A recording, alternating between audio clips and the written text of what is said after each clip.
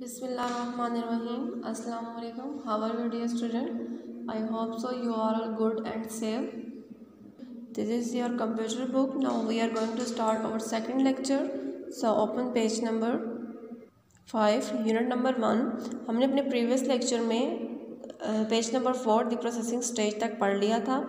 आज हमने the output stage के बारे में के बारे में पढ़ना है। हम इसको रीड आउट करते हैं। The output stage is where information process data is present to user. Output is presented through several output devices like printer, monitor and speaker. After user have view output, they can understand what the data mean and make decision on the basic of their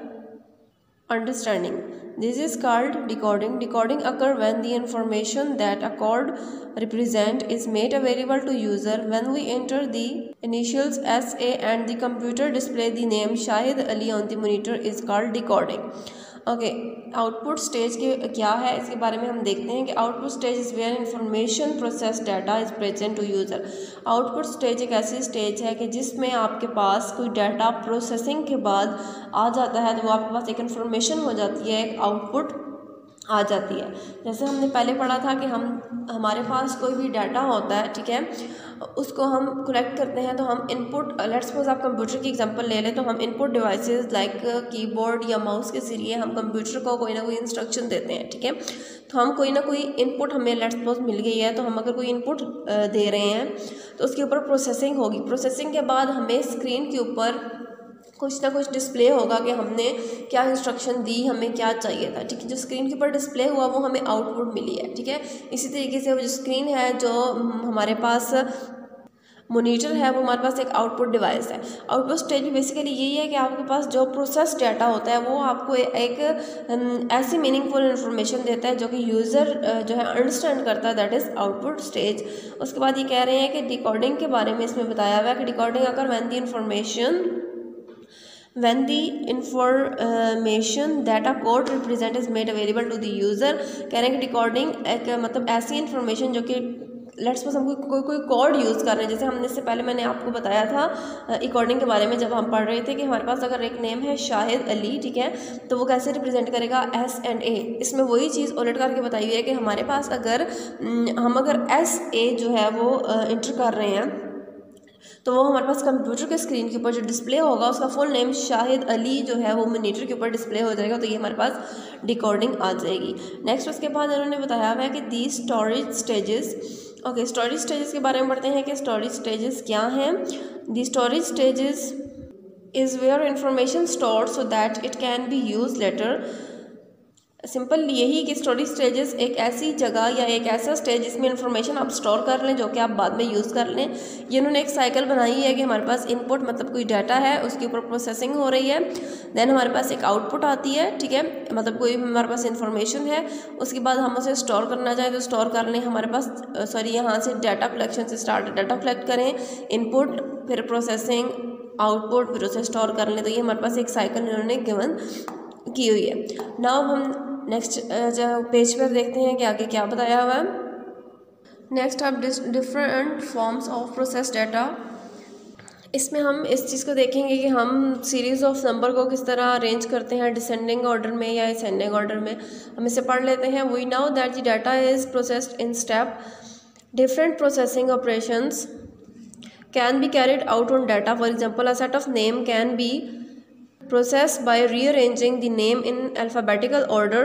this make it easy to look for the particular name a series of number can be arranged in ascending or descending order अगर इसमें यही बताया हुआ है कि आप किसी भी डाटा को अगर नेम है तो उसको आप अल्फ़ाबेटिकल ऑर्डर में आप अरेंज कर लें तो आपके लिए इजी होगा कि आप किसी भी पर्टिकुलर नेम को अगर आप देखना चाहें तो आसानी से आप ढूंढ लेंगे। इसी तरह अगर कोई नंबर है तो उसको आप असेंडिंग या डिसेंडिंग ऑर्डर में आसानी से अरेंज कर लें। सॉर्टेड डाटा क्या है? Sorting mean organise data according to some predefined criteria sorted data भी यही है कि आप किसी भी डाटा को एक सीक्वेंस में, या एक ऑर्गेनाइज कर लें, एक प्री डिफाइंड क्राइटेरिया जो आपको क्राइटेरिया दिया जाए, उसके अकॉर्डिंग दी क्राइटेरिया में different according to preference and the use of information for example a teacher may want a list of student name arranged alphabetically but a physically instructor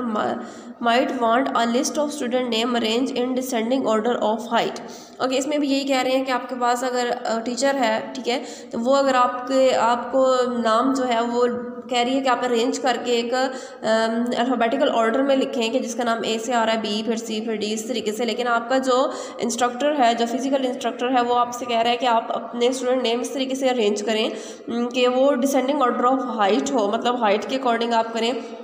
तो ये आपके, आपको एक क्राइटेरिया दिया जा रहा है कि आपने इस तरीके से काम करना है और इस तरीके से काम करना है। तो आपने इस तरीके से अपने डाटा को सॉर्ट आउट करना है। नाउ आप देखें ये आपके पास रैंडम लिस्ट है और इसके पास सॉर्टेड लिस्ट है कि मोइस पहले आ रहा है, हसन, बिलाल, फिर इरम इस तरह कह रहे हैं कि पहले आप देखें ए से कोई नाम नहीं था तो देन उसके बाद बी है तो बी वाला पहले सी नहीं है डी नहीं है ई e है, फिर उसके बाद उसके बाद एच और उसके बाद एम ये उन्होंने एक तरतीब से मतलब अल्फ़ाबेटिकली ऑर्डर में अरेंज करके इन नाम्स को लिख लिया है। नाउ उसके बाद हमारे पास आ जाता है ग्रुप डाटा ग्रुप डाटा क्या है? Group mean placing data item in separate group so that all members of the group have something in common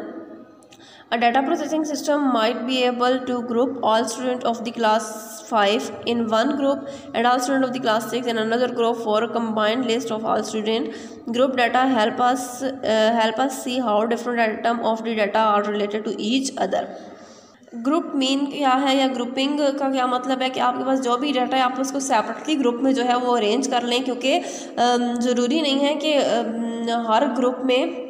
अलग अलग मेंबर हों, ऐसा भी हो सकता है कि अगर आप किसी नेम को भी देख लें तो एक नाम के दो बच्चे हो सकते हैं। इसीलिए तरीके से all members of the group have something in common कुछ मेंबर्स ऐसे होते हैं जिनका कुछ ना कुछ कॉमन होता है। इसी तरीके से वो कह रहे हैं कि आप ग्रुप जो है वो बना लें, जिस तरह all student of class five उनका अलग ग्रुप हो जाए all student of class six उनका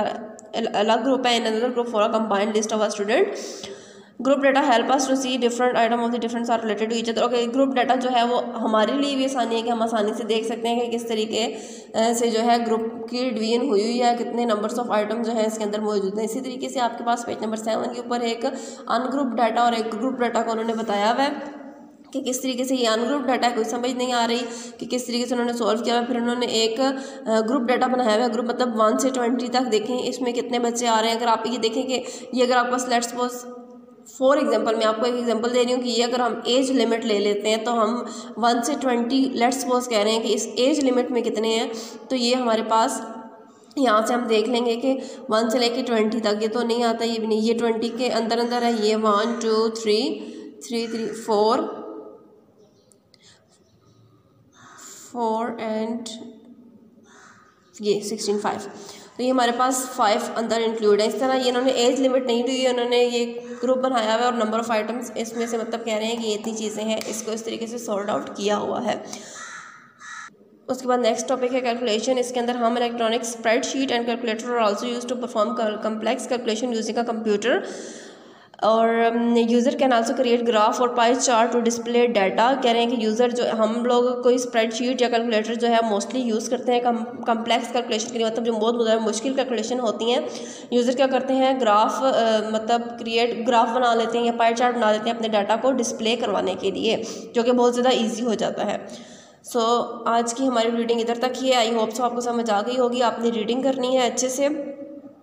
और रेगुलर आपने अपना काम करना है जो आपको दिया जा रहा है। So best of luck the student खुदा हाफिज़।